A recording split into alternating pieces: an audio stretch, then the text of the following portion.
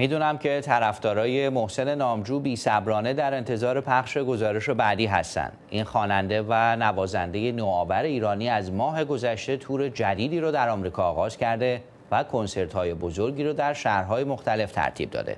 قراره تا اواخر تابستون قطعاتی که در این کنسرت ها اجرا میشه به صورت آلبوم جدیدی روانه بازار بشه. توجه شما رو به گفتگوی اختصاصی صدای آمریکا با محسن نامجو در لس آنجلس جلب می‌کنم.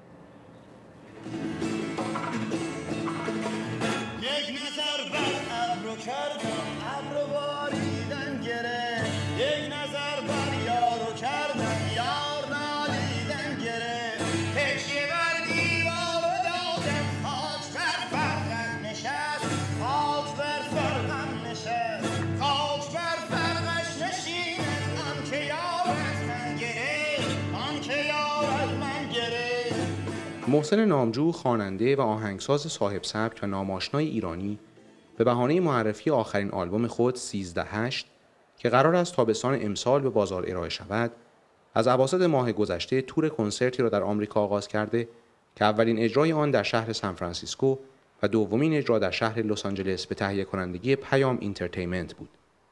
138 که نام یکی از قطعات این آلبوم نیز هست، یکی از ریتم های موسیقی است که مشخصه‌ی آن عدم تعادل و توازن است. این آلبوم شامل شش قطعه است که دو قطعه از ترانه های خود نامجو و مابقی از شعرهای کهن و مدرن ایران است و به جز یکی از آنها مابقی در خارج از ایران ساخته شده است. در واقع اولین تجربه من بیرون از ایران با دوستان آمریکایی که با هم دیگه طی چند ماه قبل ساز زدیم البته مدت بیشتری که آشنا هستیم ولی خب این کارا رو تمرین کردیم و شاید یه عنوان کلی که بشه داد اینه که اولین تجربه من در فرمت موسیقی جاز که هر کدوم از اون قطعات تو یکی از دستگاه ایرانی به یه شکلی با بداه نوازی که تو سبک جاز وجود داره این اتفاق تلفیق شده با در واقع اون ملودی هایی که من توی دستگاه ایرانی ساخته بودم. نامجو به دلیل تلفیق سبک‌های مختلف موسیقی ایرانی و غربی و اشعار کهن با سروده های خود و نوآوری‌هایش در اجرا و ساختار چند سالی است که به یکی از موزیسین‌های مطرح جامعه ایرانی تبدیل شده. او که از هنجرهش به عنوان یکی از ابزار موسیقیایی استفاده می کند و با استفاده از آواهای مختلف شکل جدیدی به اجراهایش داده است در این مورد می‌گوید نکته اینه که این ایده و این ذهنیتی که وجود داره بابت جدا کردن این سبک ها و سیاه های موسیقی و خوندن رو بتونی بینشون مرزی نکشی و این مرز رو برداری. همیشه این تقسیم بندی من تقسیم بندی بود که به نظر من حالا نه که نامعقول ولی همیشه عجیب می اومد تا اندازه ای. اینکه چطوری میشه آدم به موزیکی فکر کنه که نه سنتی باشه نه پاپ باشه نه محلی باشه و در این حال همه اینا باشه.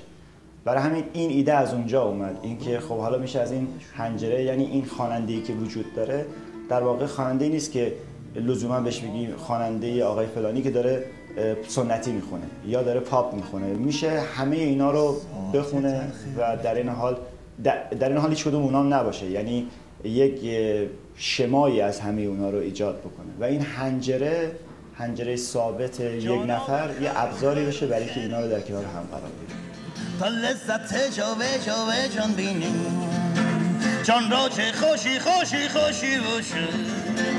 بی صحبت جو جنونه. چون کشتی یه بی یه بی یه بی لنگه. کج می شد و مج می شد و مج می شد. در هر نظرش درش درش مصبر صد گلشن و نو شونه جان را چه خوشی خوشی خوشی باشد. بی صحبت جا به جا جانانه. بی صحبت جا به جا جانانه. او که تاکنون پنج آلبوم موسیقی منتشر کرده و در حال آماده سازی آلبوم ششمش است دو آلبوم آخر خود را به صورت اجرای زنده و در هنگام کنسرت عمومیش ضبط کرده است. نامجو درباره آلبوم علکی که پیش از این انتشار یافته و تجربه جدیدی که از ضبط اجرای زنده داشته می‌گوید آره علکی از اسم یکی از قطعات اون آلبوم قطعه آخر که اجرا شد اومد. ناشی از احساس علکی کردن نسبت به هر چیزی بود و این شعر اون شکلی نوشته شد. و ولی اون موقع ملودی نداشت. تا یه اندازی ایده های وجود داشت. بعد دوستم سیامک سنایی آکوردای رو روی گیتار زد روش که اونا خیلی ایده داد به من برای اینکه اون ملودی های شعر کاملتر شد. و قطعه در واقع میشه گفت تو آمریکا ساخته شد ملودیش. کلیت آلبوم علکی شاید غیر از خود قطعه علکی اساسا برای خود من حکم یک جور رجعت به موسیقی سنتی خودمون داشت. شکل این قطعات اینو ایجاب می‌کرد. اینکه باید اجرای زنده یا اجرای لایوی از اینا وجود می داشت در ضبط.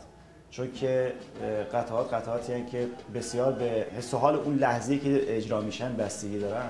در واقع قطعات ما رو رسون کشوندن به این که این دو تا آلبوم رو به این شکل اجرا کنیم. البته خب مسئله هزینه و به صرفه بودن و اینها هم باید در نظر داشت. چون شما می‌دونید آلبوم قراره که تولید بشه و کپی بشه و قرار نیست که توسط مخاطبین اکثرشون البته خریده بشه و این خواهناخواه در این دوتا اجرا منو و دوستانمون سوق داد به سمت اینکه این تجربه رو داشته باشیم. حداقل هزینه رو حتی امکان به صفر برسیم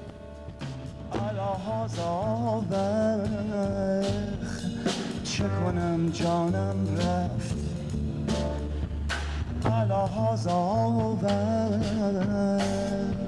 چه کنم جانم رفت.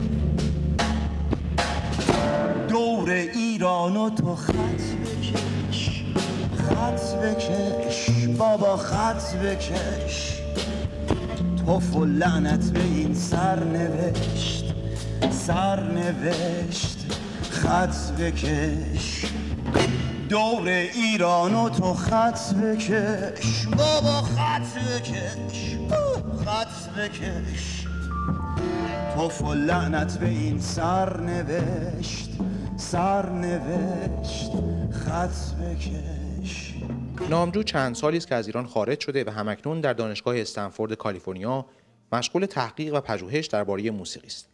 او که در طول این سالیان علاوه بر برنامه سخنرانی درباره موسیقی ایرانی کنسرت های مختلفی در سراسر دنیا برگزار کرده و در این بین با موزیسین های مختلفی نیز همکاری کرده درباره تجربه سالهای اقامتش در خارج از کشور می‌گوید من عاشق یادگیریم عاشق یعنی اساسا اینکه آدم یکی از اهدافش رو از این زندگی کوتاهی که داره در این دنیای فانی بذاره بر یادگیری بذاره بر هرچه بیشتر و بیشتر آموختن.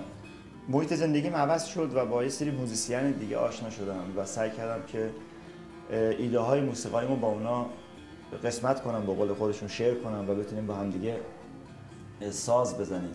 این باعث شد که بفهمی که کنید هر لحظه رو که این ستار رو شما توی شور می‌زدی و این نوتا رو باهاش می‌زدی و می‌رفتی و حالا که در کنار یک کیبورد قرار گرفتی کیبوردی که یه آدمی مربوط به یک background دیگه یک فرهنگ دیگه و از یه جای دیگه داره میاد. این بدبستونا همش لحظه به لحظهش واقعا یادگیری بوده تجربه خارج از ایران می‌تونم خلاصش اینجوری بکنم که من خودم رو باز گذاشتم برای یادگیری هرچه بیشتر. و این اتفاق فکر می‌کنم که تا اندازه افتاده. نامجو با توجه به مسئله که اخیرا برای شاهین نجفی گیتاریست و خواننده رپ ایرانی به جهت خواندن ترانه‌ای با نام نقی ایجاد و موجب صدور احکام مختلفی برای او شده در مورد مسائلی که هنرمندان با آن مواجهند می‌گوید من راجع به اون قطعه یه قطعه موسیقاییه. یعنی من نمی‌تونم هیچ نظری طبعا حداقل توی این بحث و چیزی که داریم نمی‌تونم بگم. ولی راجع به اتفاقی که افتاده فقط می‌تونم ابراز تاسف بکنم. واقعا باعث تاسفه که ما هنوز که هنوزه توی دنیای زندگی می‌کنیم که این همه داره ما رو به سمت جلو می‌بره. یعنی ناگزیریم از اینکه با این جریان جلو بریم و هنوز که هنوزه افکار و اعتقادات و روکردها و نگرشی هنوز که هنوز به بدیهی ترین چیزهای زندگی اینقدر خام و خشن وجود داره که یعنی ما در واقع باید روبرو بشیم با مسئله مرگ و زندگی. در واقع مثل اینی که ما نمی‌تونیم نه چیزی رو دعا بکنیم نه چیزی رو بخوایم نه چیزی رو آرزو بکنیم. همیشه قدرت هم دست اندیشه های متحسبه و نمی‌دونم ما به یک شکلی انگار میایم که اسیر باشیم.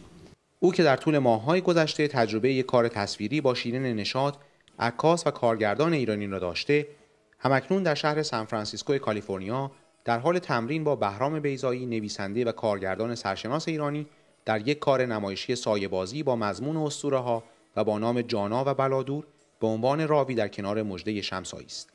ایشون به بنده نظر لطف داشتن و به حال من سعی کردم که بهترین رو انجام بدم برای اینکه بتونم مورد قبول ایشون قرار بگیرم. یک چیزی بین بازیگری نقالی خوندن و همه اینها. ولی حضور موزیسین های دیگه خواهد بود غیر از خود بنده. یعنی در واقع من اونجا ساز یا کار موسیقایی نمی‌کنم.